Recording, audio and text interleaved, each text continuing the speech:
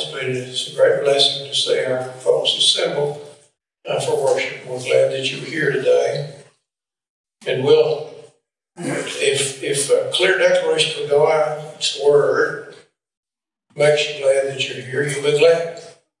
Uh, and so we, we want to try to do that. Because, of course, the words of the Lord what we're going to face on the day of judgment, not the words of a man or a group of men anywhere. And so we're glad that you're here. We're glad that uh, looking at so many faces that I know are of like mind. I wish you would uh, come with me to 1 John 2, 15 through 17 initially. You know, uh, preachers a lot of times will uh, just cloud up and run all over this worldliness. And that's proper and good, but we need to kind of define it so we know what it is we're asking people to avoid. And, uh, you know, there are some people that want to avoid things that are harmless. And we'll see that in a few moments. But it's set forth for us very clearly in the scriptures in 1 John chapter 2, verses 15 to 17. The text says, Do not love the world or the things that are in the world. If anyone loves the world, the love of the Father is not in him. For all that's in the world, the lust of the flesh, the lust of the eyes, and the boastful pride of life, is not from the Father, but is of the world.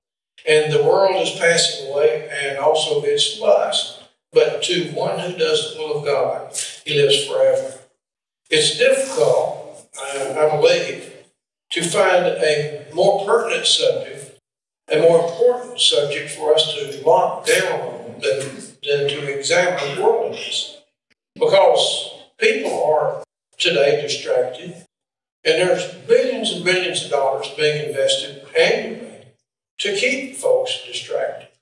And uh, you got to go here, you got to go there. Each of these places they're going to make money by you go, but you go here, you go there, you buy this, you buy that, you need this, you need that, you need something else.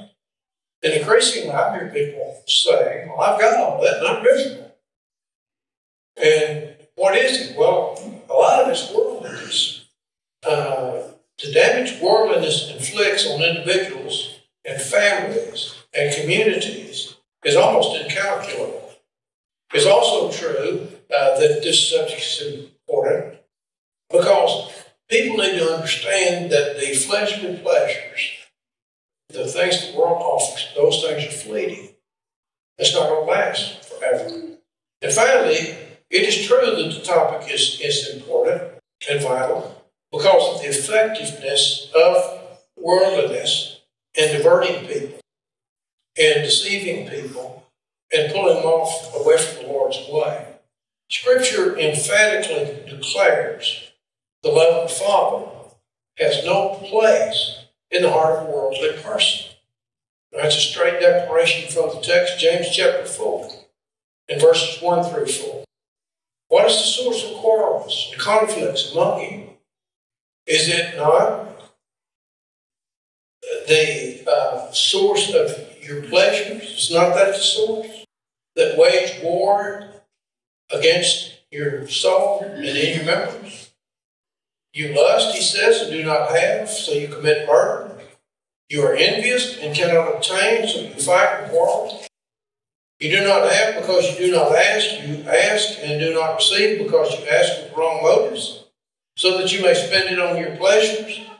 You adulterers and adulteresses, do you not know that that friendship with the world is hostility toward God? Therefore, whoever wishes to be the friend of the world makes himself the enemy of God. To understand the subject, to grasp the subject, a careful distinction has to be made between morality and religion. Uh, these, these terms uh, just cannot be ignored if understanding is what we're after. And in drawing a distinction, we have to remember that moral law is natural uh, resulting from creation, being created in the image of God. There is a sense of oughtness in every people on the face of this planet. Now, some of them uh, have different views of what that is, but they all have one. And there are things that they that they feel are ennobling and things that are not. And so we want to understand as we draw that distinction that there are those things in religious law. Uh, it came by revelation. And it's got to be learned. It's got to be taught. It's got to be learned. We're sending out a couple of young men. And uh, I hope that we've taught them. I know we've tried. And we've been there. And we will be there in the future. Uh, principles of moral law are the foundation of true religion. And since we're not under, since we're now under Christ, His law must direct us in all that we do. Uh, Colossians 3 verse 17 says, Whatever you do in word or deed, do all in the name or by the authority of the Lord Jesus, giving thanks through him to God the Father. Religion differs from morality somewhat in valuations.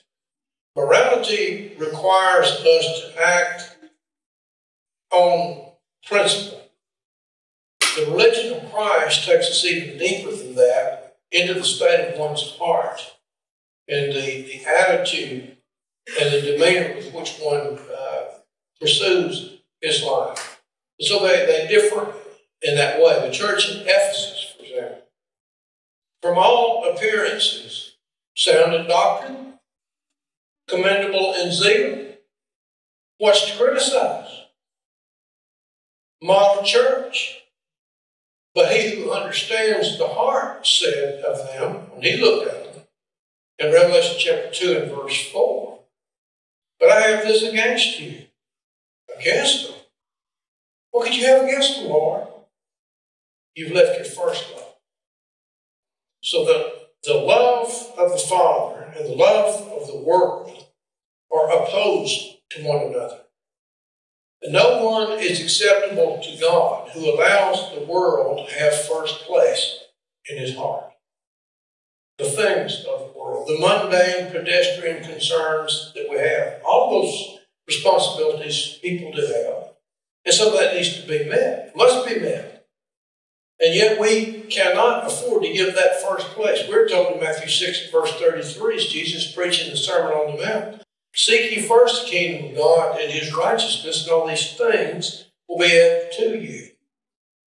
It's fundamental rule that we want to consider. It's difficult to define the boundaries of worldliness because ignorance and bigotry brand some things as worldly that are harmless. Romans chapter 14 comes to mind. They, they are in the midst of a significant brouhaha over whether or not you can eat meat that was sold uh, in the market, that some of it went to idols, or uh, you, you could secure that meat, whether not you could eat.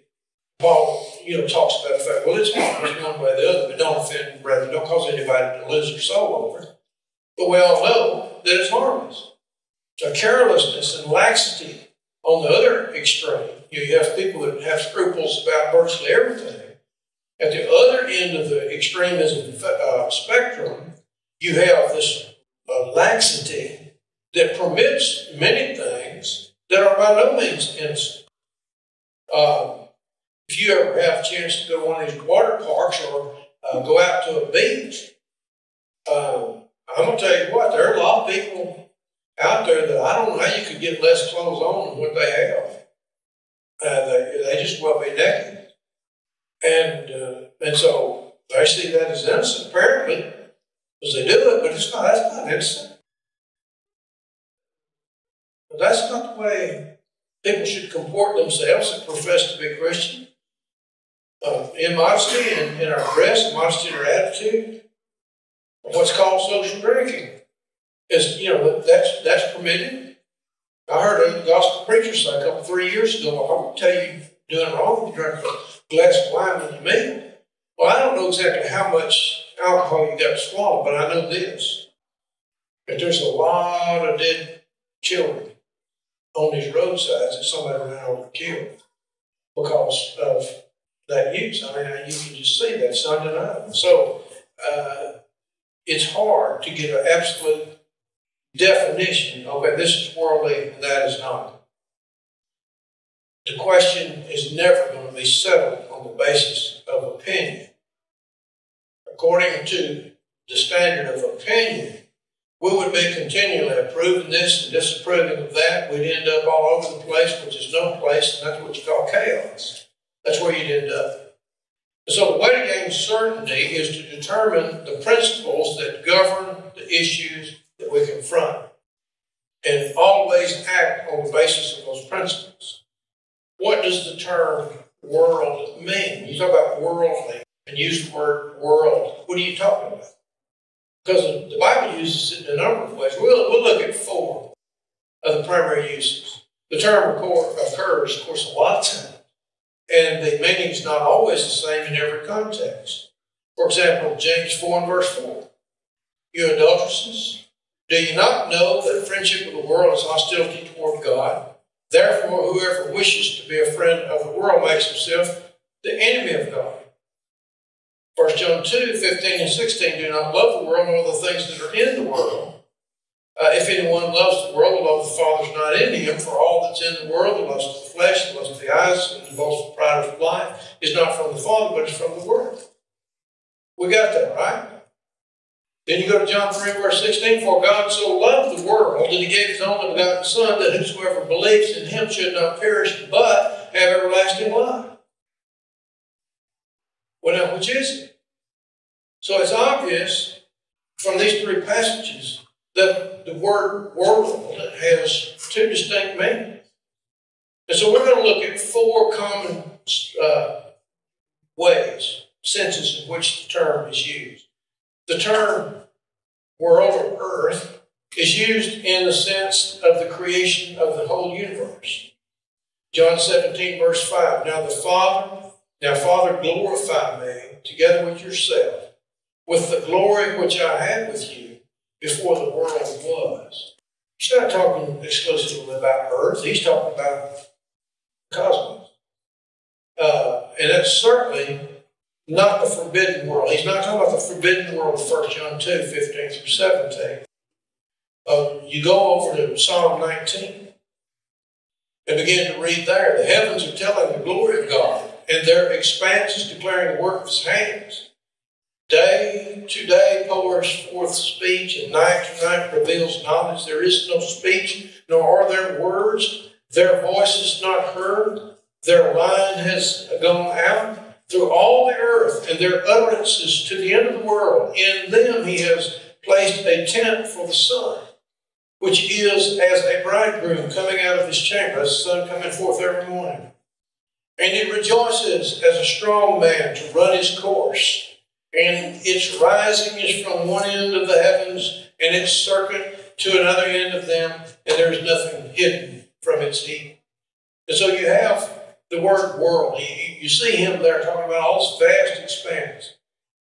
And that's the word as it's used in that kind of context. Then you have the term earth used or world used to denote the single planet, blue, blue planet, on the outskirts of a, uh, you know, fairly typical galaxy, not one of the really big ones, uh, in what's called the Goldilocks zone.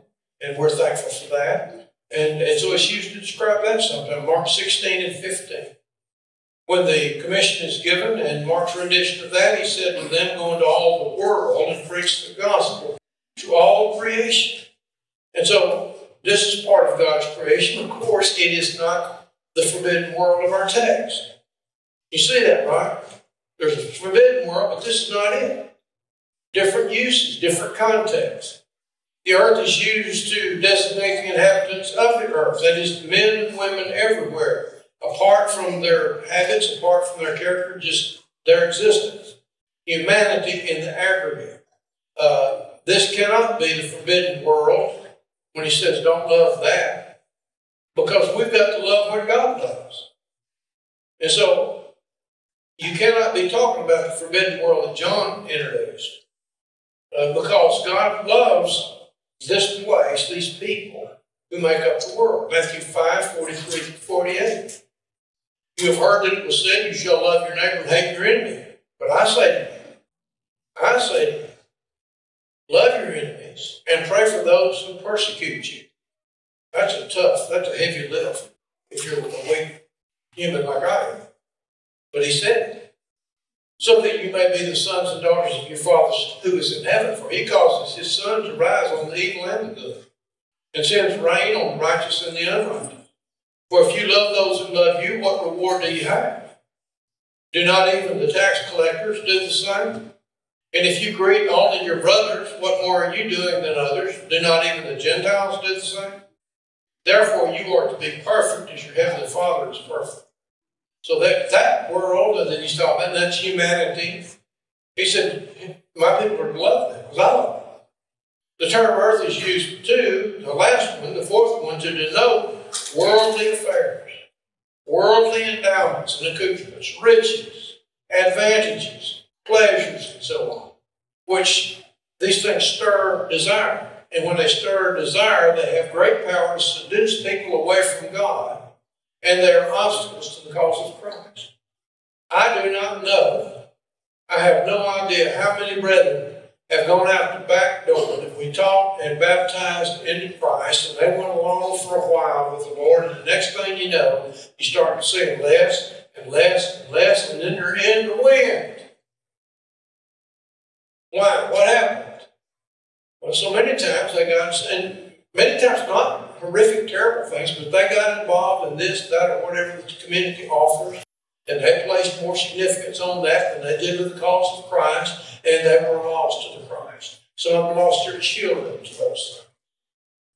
That's not a comfortable thing to talk about, but it is the truth, my brethren. As I stand here before you, it's the truth, and I'll stand and, and declare the truth as long as I live. I hope. So the earth is used to denote those things. And that's what the text means. In Matthew 16 and verse 26, for what will it profit a man if he should gain the whole world and lose his soul or forfeit his soul, the New King James says? I mean, the New American Standard. Or what will a man give in exchange for his soul? Some people will, will give up their soul for not much. That's what we're trying to lay the groundwork to convince people don't do that if you're doing it quick. The time to think through those things is now. Because it is appointed unto man once to die, and after that, the judgment. We talked about that, that exit from here. I mean, you are going to be how you leave here. That's what will be judged. There's not a redo, there's not a do over, one time through. The dominant conception of worldliness is much too narrow. I need to point that out. Uh, the view that worldliness is, is used, uh, the view of worldliness, I should say, is typically restricted to material things rather than spiritual things. Uh, the surface rather than the fundamentals. A broadly held, uh, held view of worldliness is that it consists largely in participating in popular entertainments and amusement. amusement. What are you talking about? Dancing, drinking, and gambling. What I'm talking about. Right out here at the casino. Uh, while these things are hurtful, if that's one's total view of worldliness, it's too narrow. There's, there, those things have a deleterious effect in society. Yes, they do. But that's not all of it. One would like to believe that every reasonably well informed and fair minded person is fully aware of the evil tendencies of those indulgences dancing, drinking, and gambling, and the shipwreck that it will make of character, because that often results. Uh, gambling, you know, there, there's a close kinship between cards, dice, slot machines, and gambling addiction. I grew up in a gambling community in a dry state. They sold liquor and they had all of those things in Biloxi, Mississippi. Now I know what it does. Uh, to how demoralizing is the spirit of covetousness that is generally generated in numerous games of chance. It's designed to make you covet. The Naskila Casino was sold to the public on the idea it's going to be a great boom to the local economy. I mean, the whole region. The dawning of the age of Aquarius. Where's the money? They said they're going to build a big, you know, they're going to go big, big time with it. Vegas style there. They probably will. Where's the money? Anybody catch the check? You know, you look at our children, and the last account I had, 70% qualified to have their breakfast and lunch provided by the public. Not a wealthy area. I don't know if it's any better than that today. And I ask, you know, when will the dawning of this near universal prosperity, when will it come? And so you look at the negative effects that it has. Well, drinking, you know, multiplied thousands of people are killed in this country every year because somebody thought that they needed to drink, get behind the wheel. And not to mention those that are lost to fentanyl, uh, methamphetamines, and other drugs. No reasonably rational person can argue that the, the net result of chemical abuse provides a net good for society. Presumably, we would not tolerate those kinds of losses if they were imposed by some enemy force that came ashore down here at Galveston and started to inflict that kind of death and destruction. Uh, However, deer hunter in Polk County would be down there meeting them on the beach. Well, let's get to the one that brethren struggle with, dancing. Let's be honest. Just be honest with each other with yourself. Those who adore the modern dance find themselves on the road to perilous drift. There is a lure in the dance that's a subtle influence to evil for some and overwhelming to others. And I would say, without uh, fear of being contradicted, uh, that any young man that can hold a woman like that and keep his mind where it ought to be needs to go see a doctor. And so those are those are things that have a bad effect. Do. If one will follow the Spirit in the teaching of 2 Corinthians 5, verses 9 and 10, he will have little difficulty deciding what's the best course to take when facing those questions. Therefore, therefore we also have as our ambition, whether at home or absent, to be pleasing to him, for we must all appear before the judgment seat of Christ that everyone may be recompensed for his deeds done in the body according to what he has done, whether it's good or bad. So, with these indisputable facts before us, it must still be apparent that worldliness is not merely participating in dancing, drinking, and gambling. I'm not defending that. I'm just saying that's not all there is to it. There are many, many who've never danced a step who do not know one card from another, who are in love with the things of the world. Philippians 3, beginning in verse 17, Brother Paul writes, Brethren, join in following my example. Observe those who walk according to the pattern you have in us. For many walk of whom I have often told you, and now tell you, even weeping, that they are the enemies of the cross of Christ, whose end is destruction, whose God is their appetite, and whose glory is their shame who set their minds on earthly things. For our citizenship is in heaven, from which we also are eagerly awaiting the Savior, the Lord Jesus Christ. And so there it is. Matthew 16 and 23, but he turned and said to Peter, Get behind me, Satan, because you are a stumbling block to me, for you are not setting your mind. Watch it not setting your mind on God's interest, but man's. That's worldliness. Have anything to do with the things we've just enumerated. Colossians 3 and verse 2 set your mind on things above and not on things on the earth. What is then essential worldliness? Worldliness does not consist solely in doing certain things or being in certain places. That's not all of it. It is an attitude it is a view of life. It is a, a foreign state of mind. In Romans chapter 12, verses 1 and 2, Paul is there writing. He says, Therefore I urge you, brethren, by the mercies of God, to present your bodies a living holy sacrifice acceptable to God, which is your spiritual service. And do not be conformed to this world, but be transformed by the renewing of your mind, so that you may prove what the will of God is, that which is good and acceptable and perfect. One may find himself in the most worldly atmosphere and yet not feel at home and inwardly revolting against what he's being exposed to and anxious to get away from it. You can find yourself that conversely, you may be in a thoroughly spiritual atmosphere, in a church building, in a worship assembly, and yet not be in harmony with the spirit of the occasion, but far away in mind and in spirit.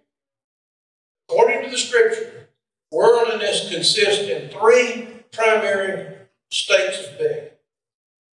Uh, the first is the lust of the flesh. In Romans chapter 5, verses 8 and 9, the great apostle the Gentiles wrote, For those who are according to the flesh set their minds on the things of the flesh, but those who are according to the Spirit, the things of the Spirit. For the mind set on the flesh is death, but the mind set on the Spirit is life and peace. Because the mind set on the flesh is hostile toward God. For it does not subject itself to the law of God, for it is not even able to do so. And those who are in the flesh cannot please God. However, you are not in the flesh, but in the Spirit, if indeed the Spirit of God dwells in you. But if anyone does not have the Spirit of Christ, he does not belong to him. In Galatians chapter 5, pick it up at verse 16. But I say, walk by the Spirit, and you will not carry out the desires of the flesh. For the same, uh, for the flesh sets its desire against the Spirit, and the Spirit against the flesh, for these are in opposition to one another, so that you may not do the things that you please. Uh, but if you are led by the Spirit, you're not under the law. Now, the deeds of the flesh, he gets on down just specific. Now, the deeds of the flesh are evident, which are immorality, impurity, sensuality, idolatry, sorcery, enmity, strife, jealousy, outburst of anger, disputes, dissensions, factions, envy, drunkenness, carousing, and things like these.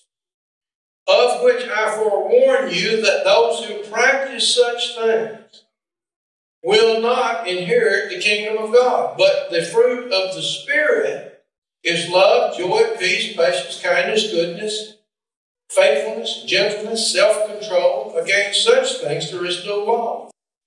Now, he said, Those who belong to Christ Jesus have crucified the flesh with its passions and desires. And if we live by the Spirit, let us also walk by the Spirit. The lust. Can't do what you want to do. You know, there, somebody might have made you angry and you might have wanted to hit them right on the end of the nose just because you're mad. You can't do that. You know, people a lot of times say, well, I should have said this or something. No, you shouldn't. I don't even, no, you shouldn't. It's good that you did. You did the right thing. If you keep your mouth shut, you did the right thing and done. Lust of the flesh, lust of the flesh, the lust of the eyes. The desire is excited by seeing. And that is especially true of men. John chapter, and women all of them. John chapter 7, 20 and 21, so Achan answered Joshua and said, Truly I sinned against the Lord, the God of Israel, and this is what I did. When I saw, when I saw among the spoil a beautiful mantle from Shinar, and 200 shekels of silver and a bar of gold, 50 shekels weight. Then I covered them and took them, and behold, they are concealed in the earth inside my tent with silver underneath. And so he was overwhelmed by what he saw. It, it led him away from God. Matthew 5, 27.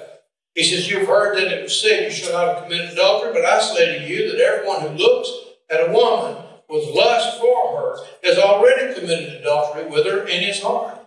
That's worldliness. If she don't belong to you, you keep your hands off of her, and, and uh, if you keep your mind off of her, God help you do that. The vainglory of life, that's another manifestation, primary manifestation of worldliness.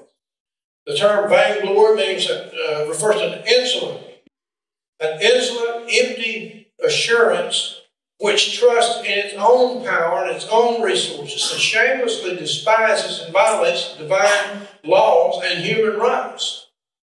It is an impious and empty presumption that trusts in the stability of earthly things. We've just seen a little sample of what a mistake that is. We haven't seen this kind of rain lately. Uh, and people have had great loss. But things do not stay the same in this world, they never have. In James chapter 4 and verse 16, but as it is, he said, you boast in your arrogance, and all such boasting is evil. The term indicates a display of one style of living. All types of sin were exemplified when the devil tempted Mother Eve in Genesis 3 1 to 6.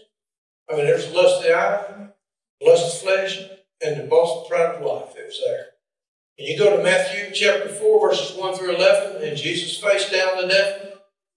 Lust of the eyes, lust of flesh, boast of pride of life. There it is.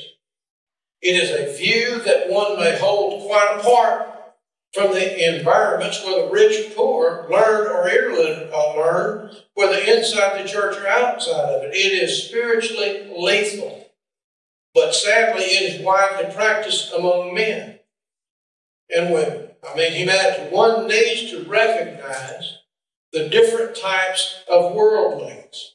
There's the Absaloms of the world. 2 Samuel 15 and verse 1 beginning. He brazenly undermined his father David and stole away the hearts of the people. Uh, 2 Samuel chapter 5, uh, 15 and verse 6, people coming to, to be judged to the king, and he intercepted.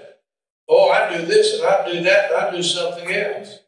Uh, in the same manner, in this manner, Absalom dealt with all Israel came, came for judgment. So Absalom stole away the hearts of the men of Israel. This man was for himself, first, second, always. And ultimately leading a rebellion to overthrow his own father, who was effectively governing God's people. Then you look at the foolish rich man. That's a different kind of a world in chapter 12 of Luke, verses 15 to 21. There's no indication that that man was vicious. There's no indication that he was a, a crook, that he practiced malfeasance in his business, none whatsoever, or obtained his wealth in any dishonorable means. But still, he was worldly. Why? He lived only for time. He lived only for this world. Then there is uh, there are church members who seek the praise of men. In Matthew chapter 6, verse 1 through 4, Jesus is talking about that. And he said, You know, you need to be aware of practicing your righteousness before men to be noticed by them, otherwise, you have no reward with your Father who's in heaven.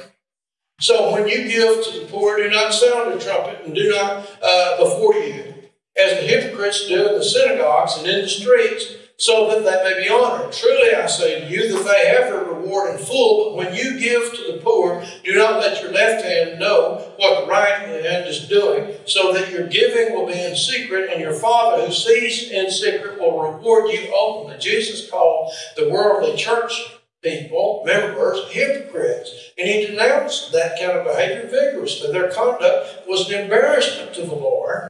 And in matters, uh, it's not only what you do, but it's why you do it how you do it, the spirit from which it comes. Uh, this sort of worldly is the most harmful, I would say, religiously to regard men more than the will of God. In John 12, 42 and 43, he says, Nevertheless, many even of the rulers believed in him, but watch, but because of the Pharisees, they were not confessing him for fear that they would be put out of the synagogue. When they put the Pharisees out of the synagogue, when they stand up and say, I'm not going anywhere, you may be going. And so there you have that, that kind of worldly. And he's more harmful than Absalom. Everybody that, that kept looking at Absalom, they figured that out finally. But this, this hypocrite abuses religion and the titles of religion and the organs of religion and makes a mockery of it. Worldliness is forbidden for good reason. A couple of good reasons. It's incompatible with the love of God. It's forbidden because the world and its lust are transitory. Worldliness is forbidden because of the permanence of what the Christians do.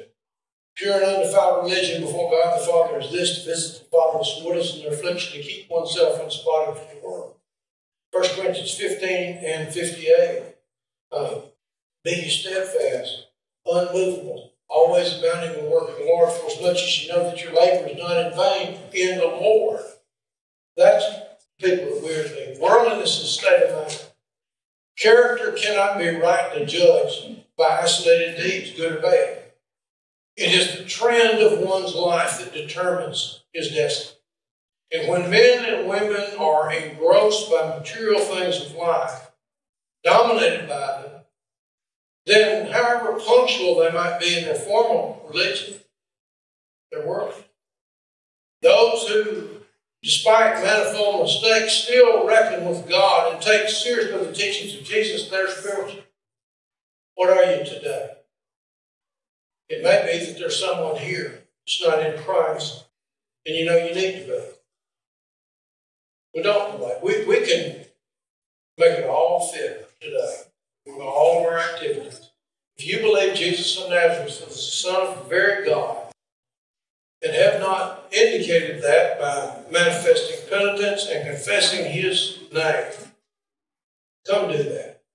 Then consent to be buried with him in baptism for remission of sins. Come now. Come now.